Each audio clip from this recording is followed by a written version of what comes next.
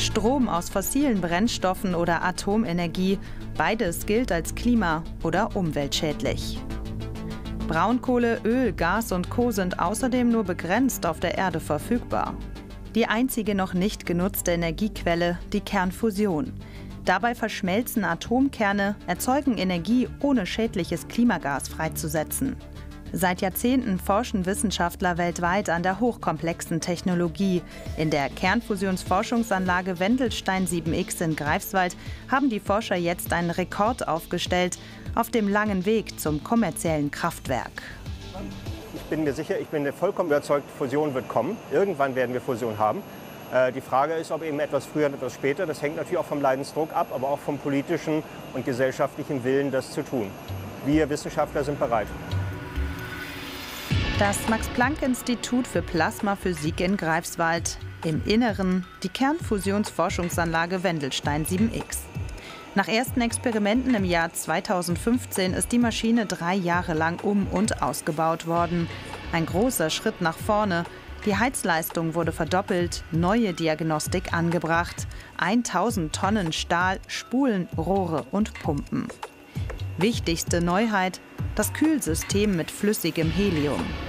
Mit dieser verbesserten Ausstattung ist die Anlage seit einigen Monaten wieder in Betrieb.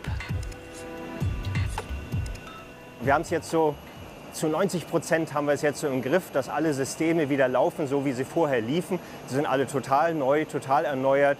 Viel neue Software ist drin, viel neue Steuerung ist drin, viel Hardware, alles Mögliche ist ersetzt und jetzt läuft es langsam wieder zusammen und jetzt können wir tatsächlich auch mit inhaltlicher Wissenschaft äh, beginnen.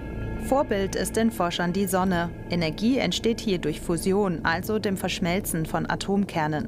Auf der Erde wollen Wissenschaftler diesen Prozess nachahmen, um in einem klima- und umweltfreundlichen Kraftwerk zukünftig Strom zu erzeugen.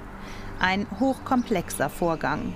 Mithilfe der Greifswalder Anlage sollen Rahmenbedingungen der Kernfusion erforscht werden. Vor allem geht es um einen Aggregatzustand, den es in der Natur auf der Erde nicht gibt, Plasma, ein ultraheißes, elektrisch geladenes Wasserstoffgas, hier erhitzt durch Mikrowellenstrahlung. Dafür wird zunächst ein Vakuum erzeugt. Ein Magnetfeld verhindert, dass das Plasma an die stark gekühlten Wände kommt und instabil wird. Ziel der Forscher, das Plasma bei 100 Millionen Grad dauerhaft herstellen und kontrollieren zu können.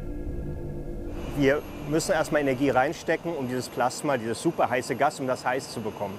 Und das ist die Aufgabe dieser Anlage, dieses Plasma tatsächlich zu erforschen, was die Voraussetzung dafür ist, denn im nächsten Schritt da auch Energie wieder rauszuholen. Und das ist die Mission dieser Anlage. Um Energie zu erzeugen, ist sie eigentlich zu klein. Aber sie ist groß genug, um genau diesen ersten Schritt zu machen. Das ist der Witz.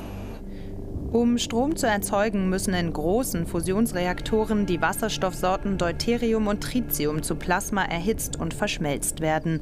Das internationale Forschungsprojekt ITER in Südfrankreich will im Jahr 2035 mit ersten Versuchen dazu beginnen.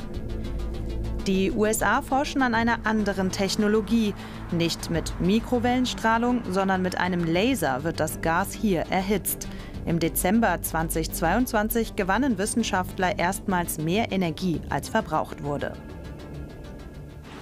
Seit einigen Monaten läuft in Greifswald eine neue Experimentreihe zur Steuerung der Anlage und zur Art und Weise, das Plasma detailliert und stabil zu heizen. Aber Schritt für Schritt. Also, das ist ein bisschen wie so ein nagelneuer Rennwagen. Wir sind jetzt bei den ersten, bei den ersten Runden, die wir mit dem drehen. Da fährt man nicht gleich Vollgas. Alle bisherigen und die aktuellen Ergebnisse der Experimente sind hier im Data Center gespeichert. Nach dem Umbau der Maschine kamen auch für Leiter Axel Winter sehr viele neue Analyse- und Sicherheitssysteme dazu. Eine riesige Herausforderung. Das sind 40 Gigabyte pro Sekunde. Klingt jetzt auch erstmal nur nach einer Zahl. Das ist so ungefähr das, was die weltweite Community im Jahr 2020 pro Sekunde zu YouTube hochgeladen hat. Das wird hier sozusagen auf diese einzelnen Blocks gespeichert. Zum Schutz sind die Daten in mehreren baugleichen Räumen mehrfach gesichert. Jede Einheit hat ein eigenes Brandschutzsystem. Allein das Datacenter verbraucht am Tag so viel Strom wie ein Einfamilienhaus im Schnitt pro Jahr. Die gesamte Anlage Wendelstein 7X benötigt 60 Megawattstunden am Tag. Dazu enorme Kosten für Material und Personal. 1100 Mitarbeiter sind hier beschäftigt. Kritiker halten die Kernfusionsforschung für ein Milliardengrab. Vor allem, weil eine Kernfrage noch nicht geklärt sei. Um Energie zu erzeugen, wird Tritium gebraucht. In der Natur gibt es dieses Wasserstoffisotop nur sehr selten. Bisher kann es effizient und in großen Mengen noch nicht hergestellt werden. Und alle Projekte, die und, und Computersimulationen, die man unternommen hat, um Tritium herzustellen, die zeigen alle negative oder Reaktionsproduktionsraten von kleiner 1. Das heißt, die anfängliche Tritiumzahl nimmt ab. Tritium zu produzieren sei kein Kinderspiel, sagt Thomas Klinger. Weltweit würde aber an Lösungen gearbeitet. Sein Team in Greifswald hat in dieser Experimentreihe einen Meilenstein überschritten. Das Plasma, hier direkt durch eine Kamera im Inneren sichtbar, konnte bei 17 Millionen Grad acht Minuten lang stabil gehalten werden. Ein Rekord. Der weltweite Goldstandard, der ist so bei einigen 10 Sekunden. Hm? Und in dem Kontext müssen wir diese acht Minuten setzen. Das ist natürlich schon ein heftiger Sprung. Damit zählen wir schon, zählen wir schon zu den einzigartigen Maschinen auf der Welt. Für Klinger und seine Mitarbeiter ist Kernfusion die Alternative der Zukunft. Die Strahlenbelastung sei im Gegensatz zu herkömmlichen Atomkraftwerken minimal. Die Stromausbeute könnte deutlich höher sein als bei fossiler Energie. Außerdem würde das Fusionsfeuer einfach erlöschen, geriete die Anlage außer Kontrolle.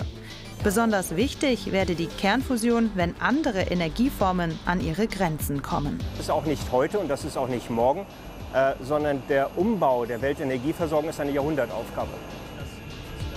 Klinger schätzt, dass das erste kommerzielle Kernfusionskraftwerk in 30 bis 40 Jahren gebaut werden könnte.